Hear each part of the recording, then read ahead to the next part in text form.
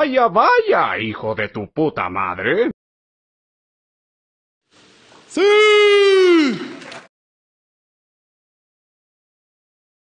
Eres cruel, pero justo.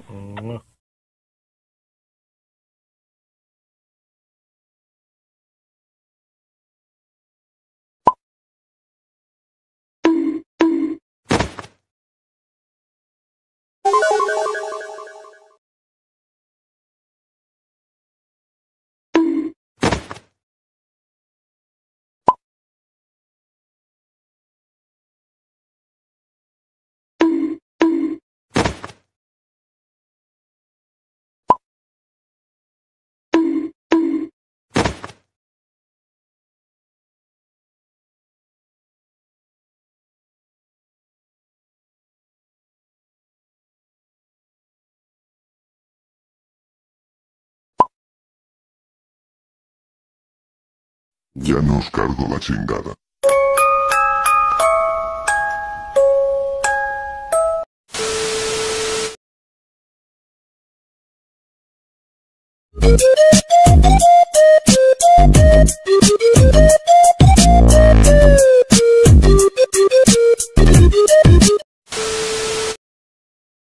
Bien, este viejillo que ven aquí se llama Sakon Yorokodaki.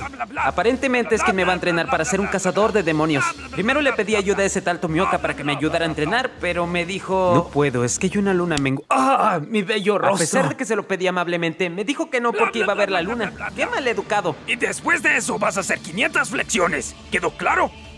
Em, sí, solo me quedó una duda. Este, ¿podría repetir desde la parte en la que dijo buenos días? ¡Chamaco pendejo! ¡Ah! Ni te imaginas lo que te espera, Solo chamaco. repítamelo, por favor. Por Ya, en favor, serio, mis lo huevos. lamento. Perdóneme, por favor. Aprende a hacer el agua.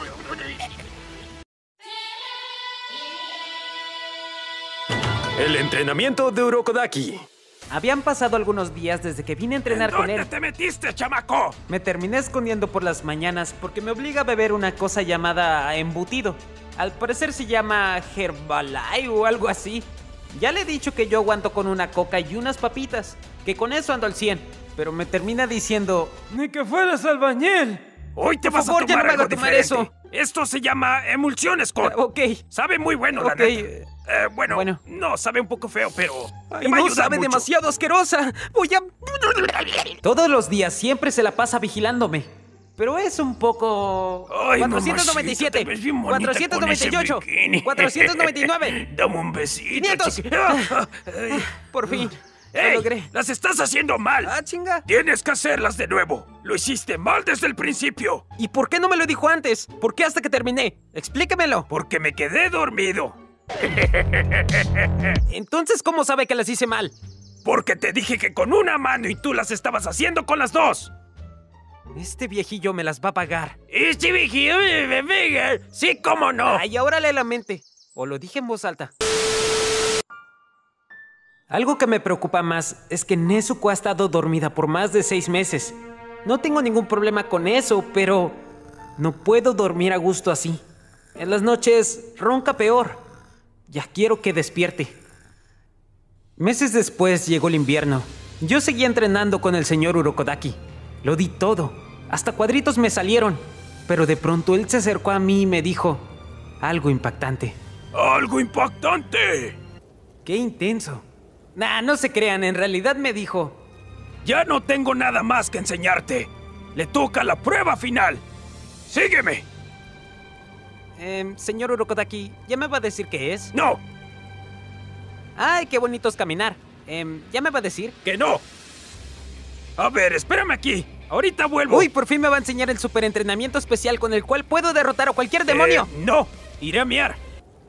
Ah, ok. Al cabo ni quería. Ah, ah, ah. ¡Uy! De tanta presión no se le vaya a reventar. ¡Cállate! ¡Pinche chamaco grosero! ¡Adelántate! ¡Ay, solo era un chascarrillo! Le va a explotar la Anaconda ¡Deja de 3000. burlarte! ¡A las chicas les gusta!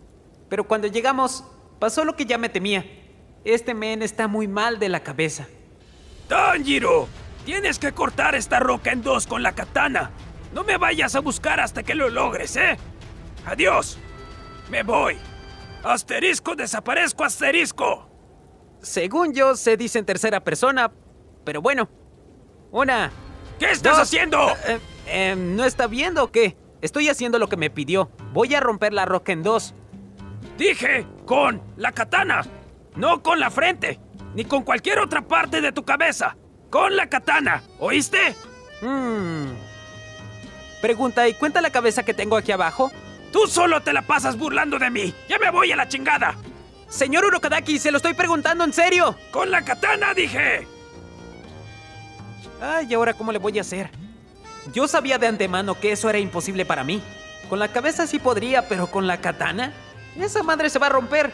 Aún así, creo que lo voy a intentar. Tal vez y solo tal vez, si creo en Cristo Rey lo puedo lograr. Aunque jamás he podido cortar un trozo de bambú siquiera. Pero algo me decía que podía lograrlo. Creo que era mi conciencia. Oye, amigo, tú puedes lograrlo. Tú puedes. Y luego me puedes acompañar aquí. Ay, güey. Sí está dura. Me fui a entrenar más. Tenía que ser más fuerte. Entrené por meses. Y aunque el señor Urokodaki me haya dejado de hablar, no me sentía para nada solo. Así que pude seguir sin problemas. Llegó un momento en el que comencé a imaginarme a un entrenador. Tenía el cabello naranja y sabía de todo tipo de entrenamientos. Una vez nos agarramos a putazos, pero no me acuerdo qué pasó ese día. Creo que le pateé el trasero. Sí, yo digo que sí, porque la verdad ya no me acuerdo de nada. Después empecé a imaginar una niña, pero creo que le gusté.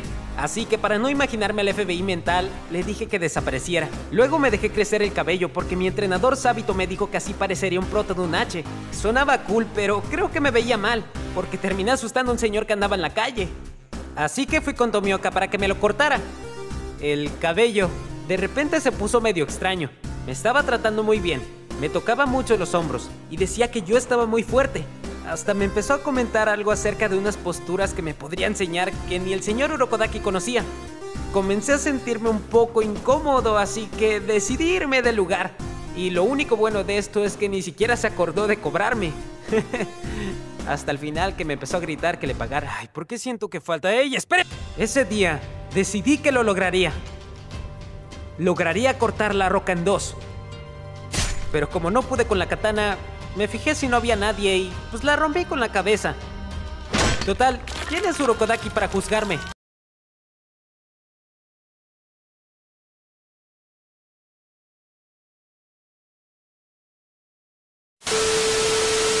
¿Acaso eso no me hace un prodigio?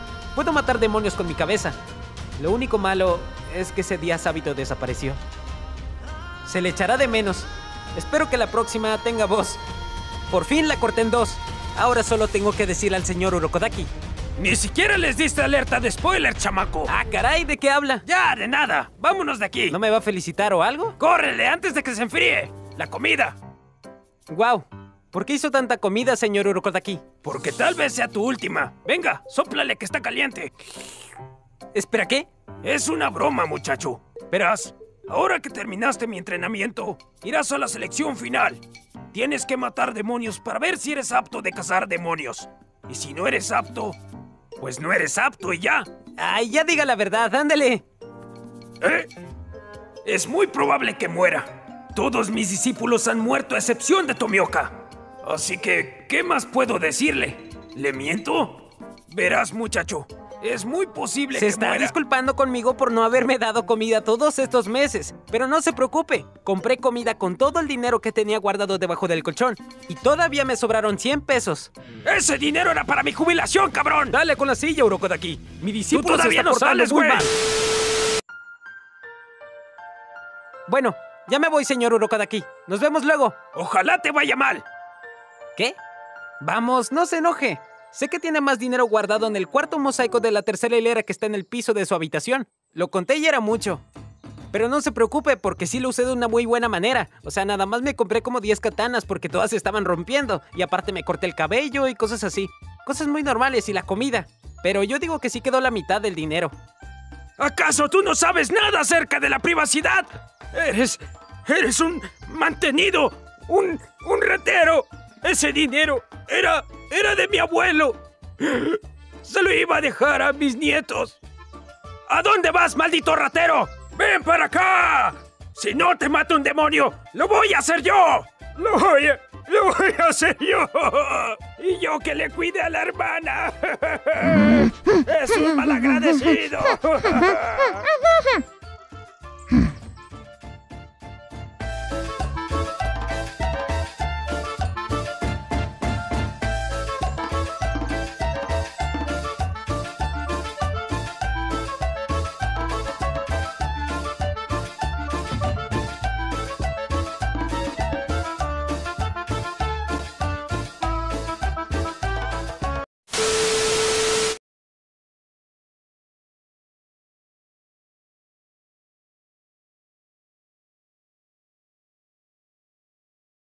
Adiós, perdedores.